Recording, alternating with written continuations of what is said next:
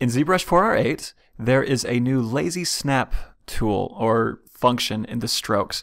So you can go to lazy snap, 0 will have no snapping like normal, and 100 will have snapping from a really long distance away. So now as you do line work around a model and you need to move, it'll actually snap to the last stroke that you had. This is extremely useful. Now you can also get farther, far enough away that it won't snap, um, but you can increase the lazy snap distance as much as you want. This opens up a lot of possibilities for doing line work around a, a, model.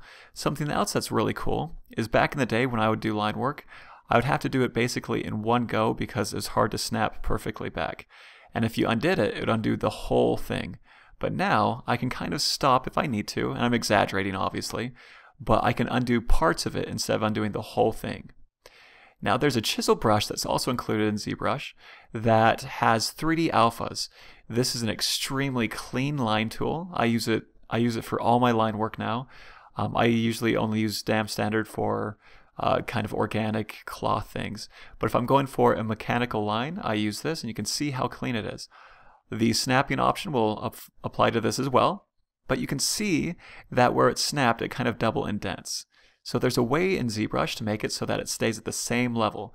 You go to Morph Target, and you just store Morph Target.